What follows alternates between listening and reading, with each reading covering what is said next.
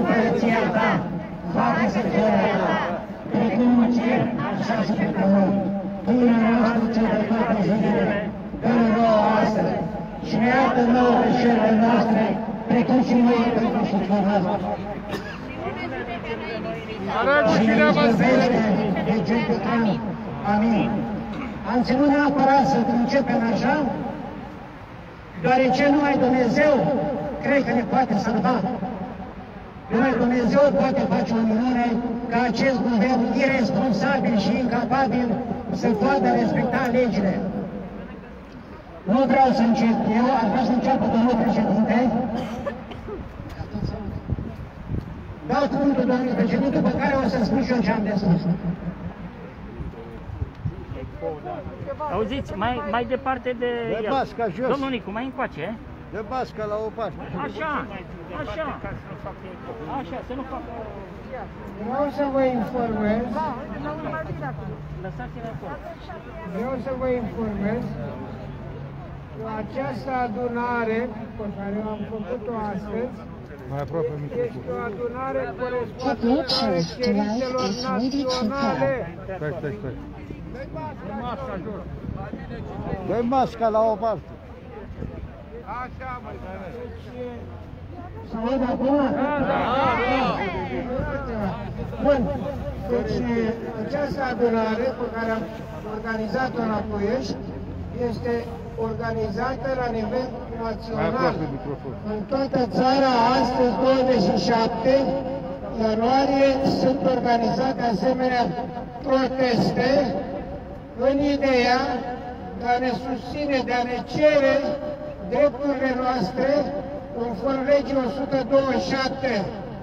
Mai mult decât atât, vreau să înțelegeți că suntem umili, umiliți de către Ministrul Muncii. Nu se poate ca să se dea 3% pentru un pensionar cu 800 de lei, care înseamnă 24 de lei. S-au scumpit toate.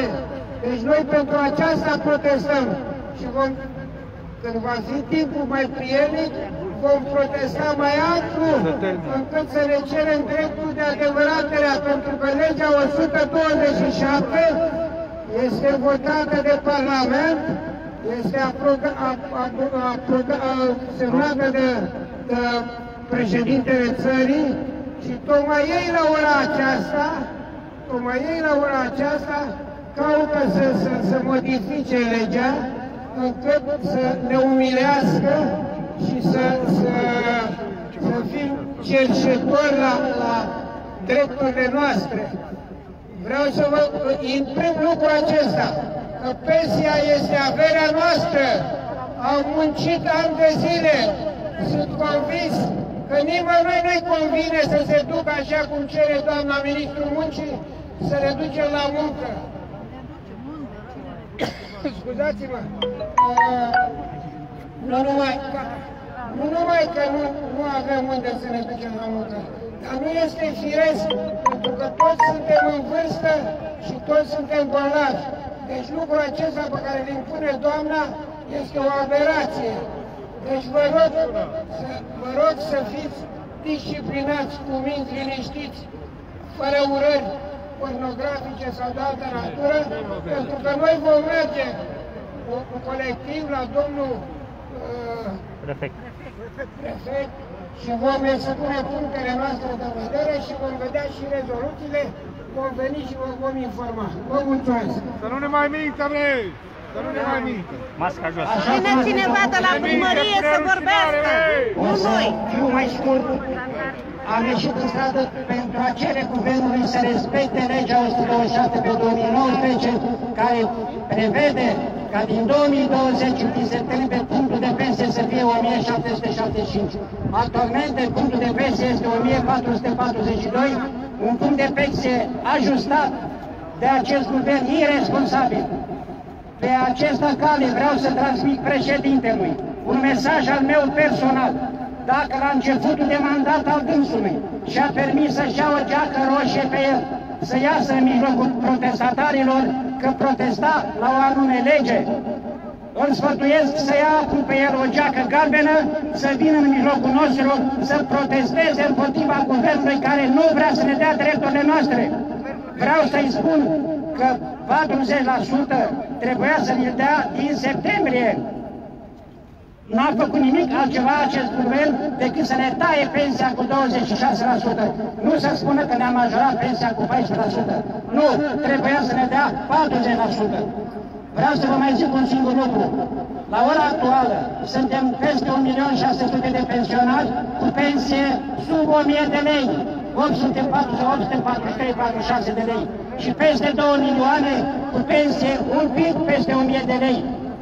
Vreau să vă spun că de la INS pentru un trai decent o persoană trebuie să aibă 2818 lei.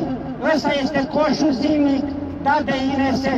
Și atunci îl întreb pe domnul președinte și pe domnul Câțu, care a fost prim-ministru, dacă a fost ministru de finanțe, acum e prim-ministru, cum poate trăi un pensionar cu 800 de lei când INS-ul spune că trebuie să ai minim 2818 lei?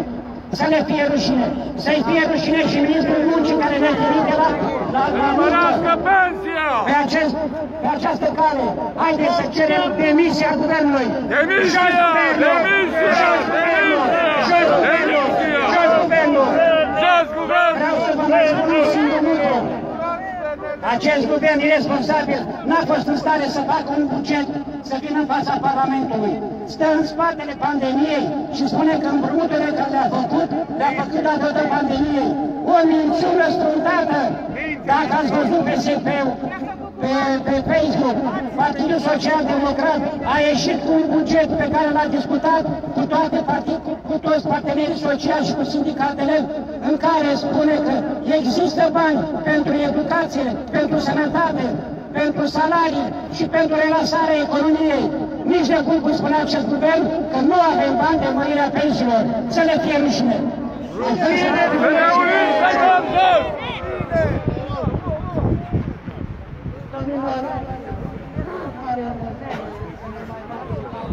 Dați inițial. Vreau să vă spun că cele trei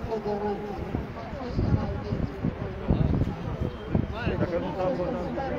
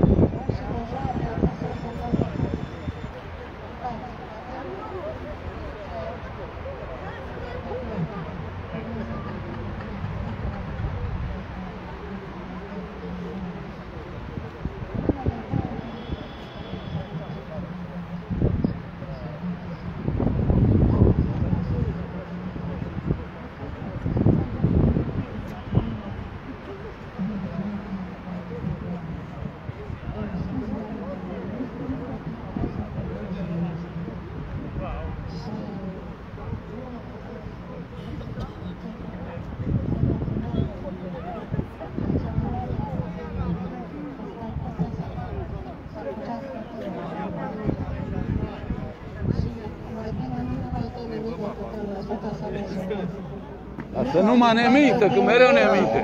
Vreau să vă spun că trebuie La ce minte? să fim atenți, vrea să scoată din lege să nu mai prevadă indexare și mărirea punctului de pensie. Asta e. Guvern Pe da vânătură. 21 februarie este prima înfățișare a celor trei federații a dată în judecată de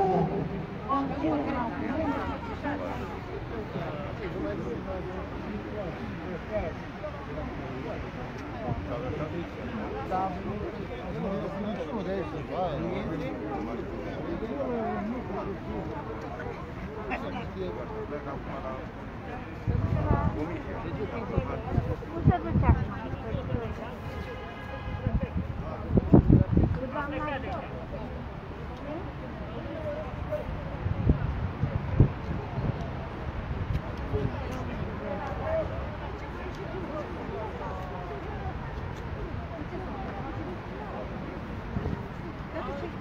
Lume.